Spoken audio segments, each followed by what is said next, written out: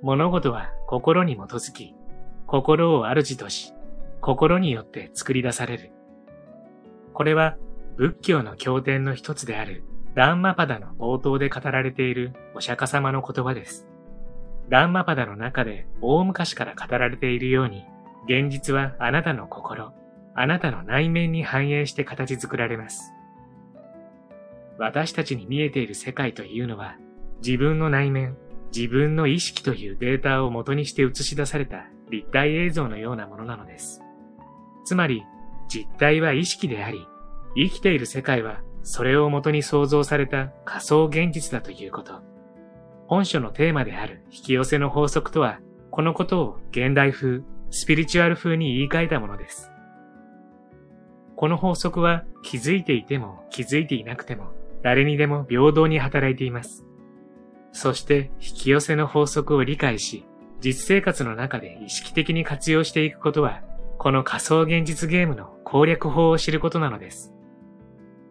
本書では前作引き寄せの教科書に続き、引き寄せの法則、そして現実創造の方法のすべてを解き明かします。前作を出版してからも様々な学びがあり、現実創造という面ではますます確固としたものになってきたほか、魂にはそれぞれのプログラムがあることや、精神の状態には段階があることなど、新たに分かってきたこともたくさんあります。それをこの創造の教科書でお伝えしていきたいと思います。さあ、これから心の世界へ、真理の世界へと旅立ちましょう。こんにちは。ハピケンことハッピー研究所の翔です。今回は創造の教科書、引き寄せの教科書最終編という本をご紹介します。引き寄せの法則。ご存知の方も多いと思いますが、望んだことが現実になる、意識した願いが叶っていく、幸福を実現すると言われる法則です。本チャンネルではたくさんの引き寄せに関する本をご紹介してきましたが、その中でも僕が引き寄せの法則の原点だと思っているのが、以前紹介しました奥平アニーさんの引き寄せの教科書です。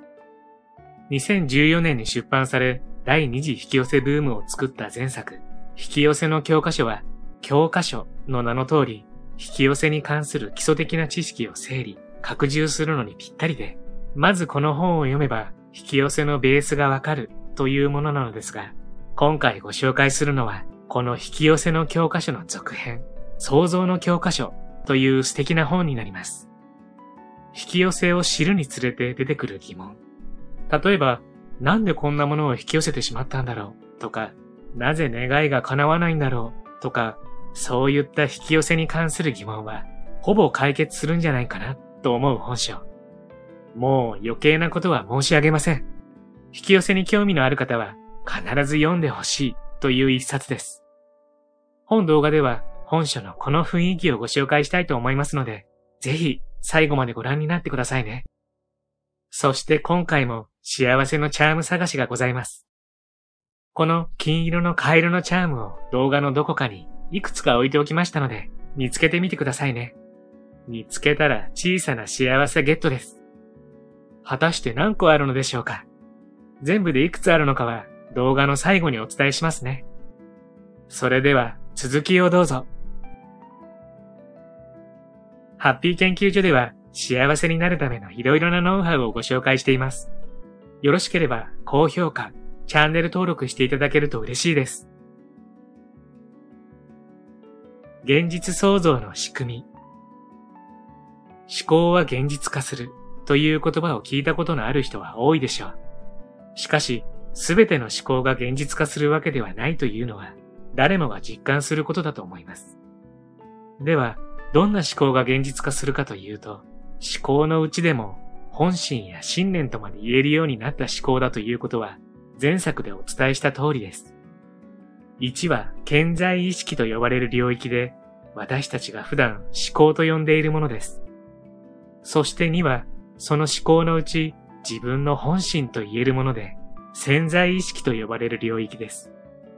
そして、この図の2にあるものが現実化します。物事は心によって作り出されるというお釈迦様の言葉を冒頭にご紹介しましたが、心、つまり本心によって現実は作り出されているのです。本心が現実化するのはなぜか。それは、あなたというのは、本当は個の人間ではなく、すべてである形のない意識だからです。あなたイコール世界。もっと言えば、あなたイコール宇宙。あなたイコール創造主であり、創造されたものすべてなのです。こうして思考を本心にまで引き上げて現実化するのが第一段階の引き寄せになります。また、さらに潜在意識の上には超意識と呼ばれる領域があり、これは私たちが魂とかハイヤーセルフと呼んでいるものだと思ってください。この2の部分には思考から引き上げるだけでなく、魂から下ろしてくることもできます。魂から降りてきたものを自分がキャッチして、その方向へと自分の肉体と思考を向けていくこと。これが第2段階の引き寄せになります。第1段階では、主に願いに集中して願いを叶える方法をとります。そして第2段階では、願いに固執するのではなく、魂から来るものに従い、毎日いい気分、幸せな気分でいれば、自然と本当の望み、魂の望みに導かれていきます。あなたはすでに引き寄せの達人。どの段階にある人でも、実はみんなすでに引き寄せの達人です。生まれた時から、いや、生まれる前からずっとそうなのです。引き寄せできないんです。望みが叶わないんです。という人にこれまでたくさん出会いましたが、それはなぜかというと、望むことではなくて、望まないことばかり考えているからです。あなたの本心がそのまま現実に現れてきますので、例えば、日々不満ばかり感じていたら、それをそのまま引き寄せてしまうことは仕方のないことなのです。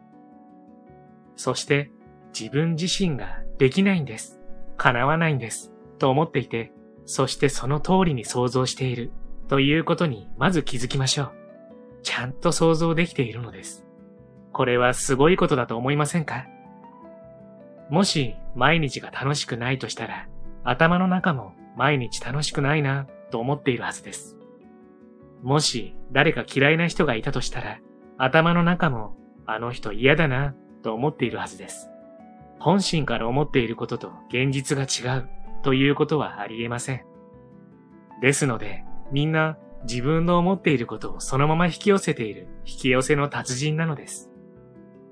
この自分はすでに引き寄せの達人なのだという理解は大事です。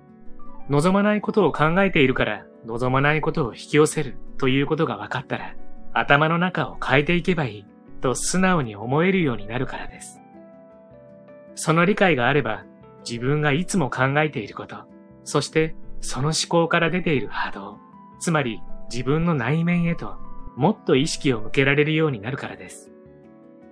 大事なことは、実は最初から自分は全てを想像する力を持っていたんだ。特別なことは何もする必要はなかったんだ。自分が全てを作り出した存在なんだ。ということに気づくということです。自分の思考と波動を自分で選択していくことを続け、目に映る現実が変化したとき、あなたは自分の持っている力に気づくことができます。願いを叶える二つのステップ。すべての願いに共通することですが、願いを叶えるには二つのステップが必要になります。ステップ1は素直に望むこと。ステップ2はその願いに波動を合わせていくことです。波動を合わせていくというのはどういうことかというと、あなたの願いが叶ったら、あなたはどんな気持ちがしますか？という問いに対して出てくるその気持ちを、願いが叶う前に感じるということです。つまり、まだ見ぬ未来に幸せを求めるのではなく、今ある現実の中の幸せに気づくこと、そして日々できる限りいい気分でいること、自分のやりたいことのうち、今できることをやっていくということです。この感覚がつかめるかどうか、これができるようになるかならないかが、あなたが引き寄せ上手になれるかなれないかの分かれ目と言えます。願いを叶えて幸せになろうとする限り、願いがまだ叶っておらず幸せでない今、というものを想像し続けてしまうので、望みは持ちつつも、それには関係なく幸せを感じていく必要があるのです。まずは正しく願いを放つ。目に見える世界はすべてあなたの意識や意志によってできています。この宇宙すべてがあなたの意識によってできているのです。つまり何か叶えたいことがあるのであれば、まず大事なのはあなたの意志です。こうしたい、これが欲しい、これがいいという意志を持つこと。どんな願いであっても願いを叶える最初のステップは、まず素直に望み、その願いを正しく放つ。あなたの意志を正しく放つということです。ちゃんと意志を放っていれば、それに呼応する現実が作られますが、それができていないケースというのはとても多いのです。例えば、パートナーが欲しい、結婚したいという望みを持っている場合、そのパートナーが欲しいとか、結婚したいという望みの理由を考えてみてほしいのです。その時、老後に一人になりたくないから、子供を産むには年齢にリミットがあるから、経済的に不安だから、適齢期なので親や世間の目が気になるから、仕事が嫌なので辞めたいから、というような答えが出てくる人が実際とても多いのです。しかしこれらは結婚したいという望みの理由になっていないことがわかりますでしょうか？これらは結婚したい理由ではなく、ただ怒ってほしくないこと、嫌なことを述べただけなのです。あなたが考えていることをそのまま引き寄せますから、これでは結婚したいという望みは叶うはずがありませんし、逆に望まないことばかりを引き寄せます。願いそのものに意識を向けているのか、願いが叶わないと困ることに意識を向けているのかで、想像する現実は大きく変わります。この場合、ではどうすれば本当に望んでいるという状態になるかというと、大好きな人と愛し愛されながら、喜びも悲しみも乗り越えながら人生を共にしていきたいから、このようなことが結婚したいという願いの理由になっている状態というのが本当に望んでいるということになります。自分の望みを考えたとき、ワクワクして前向きな気持ちが生まれるなら、その望みは叶う方向へ動いていきます。自分の望みを考えたとき、焦ったり、切羽詰まったり、不安になるなら、その焦りや不安がそのまま叶います。願いに波動を合わせる。では次に、どうやったら放った願いをあなたの目の前の現実に想像していけるのか。それには、あなた自身がすでに願いが叶った状態に波動を合わせていくことです。つまり、今も幸せ、そして願いが叶っても幸せという状態になると、あなたの本当の願いはいい形で現実のものとしてあなたの目の前に現れます。この世界には同じ波動のものが引き合うという法則が働いているからです。ただし、信じていることがそのまま反映されるため、どんな波動であっても願いは叶うと信じていれば、その通りにはなりますが、波動に見合った叶え方をしてしまいます。過去に大金を願ったら事故に遭って保険金が下りたとか、痩せたいと願ったら病気になって痩せたというような話を聞いたことがありますが、こんな形で叶えたいわけではない人が多いでしょう。今、喜びや幸せを感じていれば、喜びや幸せを引き寄せていく。それだけのことなのです。そして、今幸せになるということができていなければ、どれほど願いをクリアに描いてイメージングをしても叶いません。叶ったように見えても幸せは引き寄せることができません。もし仕事がつまらないと感じていたり、職場環境や人間関係に不平や不満ばかりで、いつも愚痴を言っているような状態だと、この先どうなると思いますか？その状態で職場の人間関係が良くなりますように、給料が上がりますように、と願ったとして、それは叶うでしょうか？この状態にある人ほど、願いを叶えて幸せになろうとしてしまいがちですが、今出しているものと同じものを引き寄せ続けますので、今不幸な私が願いを叶えて幸せになるということはできません。今幸せなあなたが願いを放てば、それはいい形で叶っていくのです。まずはそのことを腑に落としましょう。もしあなたが普段から毎日を楽しく幸せに生きていれば、願いはこうなったらいいな、これがあったらいいな、と思い描く程度でどんどん叶う方向へ動いていきます。必死でイメージングもアファメーションもしなくていいのです。そうしなければいけないと思うかもしれませんが、考えてみたら叶うと分かっていることを何回も何回もイメージングしたりしませんよね。ですので、そういったことを頑張らなくてもいいのです。それよりも何よりも、自分の視点と思考を選択し、常に幸せを自分から見つけていくことです。いい気分でいることは願いを叶えるメソッドではない。自分から幸せを選択すること、いい気分でいい波動を放つということは、自分らしい幸せで充実した人生を送る上で最も大事なことであり、それによりあなたの願いは本当に叶っていくのですが、ただ一つ勘違いしてほしくないのは、今幸せを感じる、いい気分、いい波動でいるというのは、願いを叶えるメソッドではないということです。いい気分でいたら願いは叶うんでしょ？というのは確かにその通りです。しかし、願いを叶えるためにいい気分でいようとすると、願いを叶えようとする自分、イコール、まだ叶ってない自分が現実化され、固定されてしまうのです。いい気分でいても願いが叶わないよという人は、いい気分が願いを叶える手段になってしまっていませんか？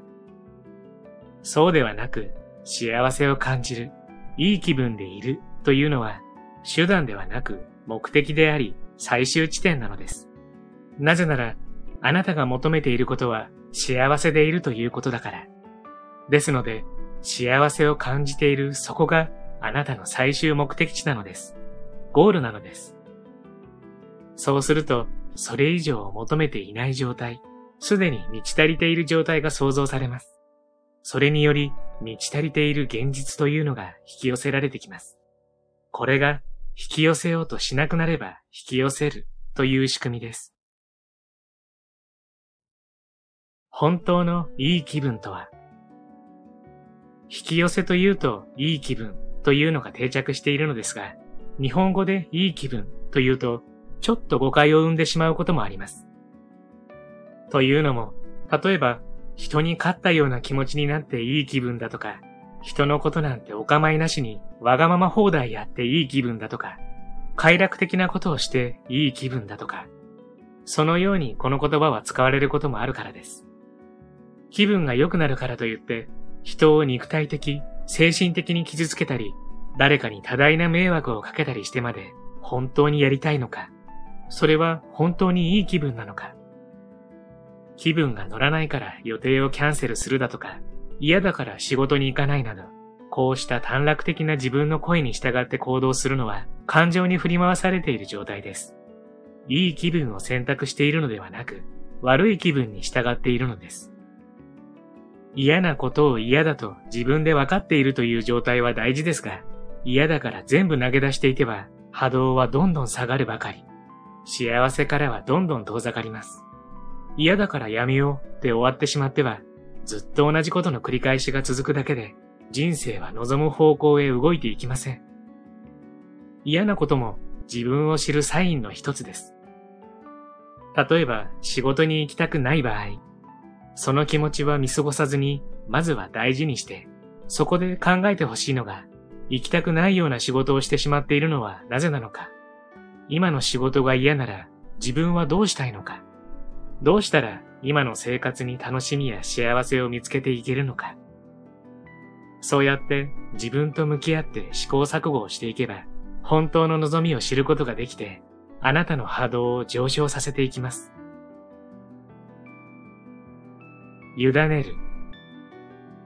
究極のところ、特別なことは何もしなくても、毎日自分のやりたいことややるべきことをやって、幸せ探しと感謝を忘れず、流れに任せていれば、本当に願いは叶っていきます。現実世界で本当に叶ったというストーリーを見るためには、ある程度の時間は必要です。でも、本気で望んでいることであれば、必ず叶います。だから、ジタバタせず、自力で引き寄せようとするのをやめてみましょう。流れに委ね、来る波に乗りましょう。人生はサーフィンのようなものなのです。波が来るまで待つ。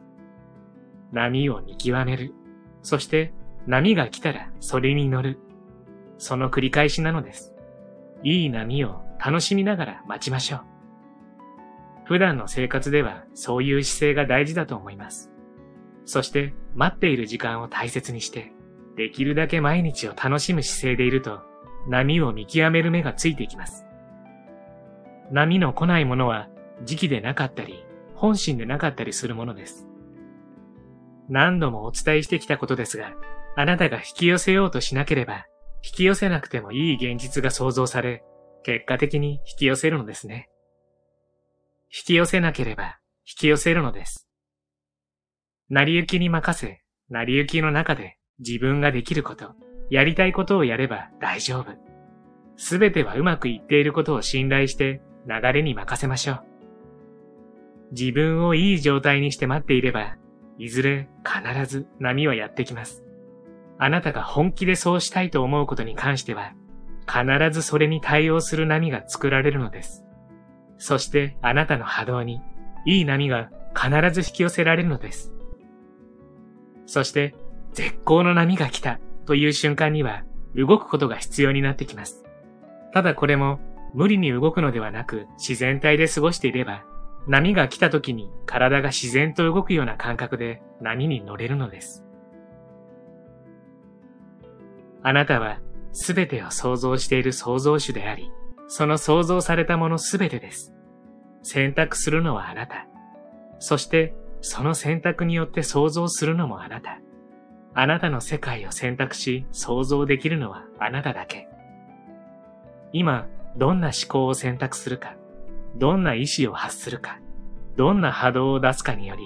あなたはあなたの世界を想像し続けています。